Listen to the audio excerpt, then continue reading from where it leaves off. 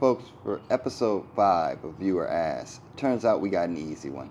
Our good friend Lagmeister wants to know if we're going to be riding Antwida Mela, the Yamaha R3 this season. Thanks for the alley oop, bro. And we got it from here.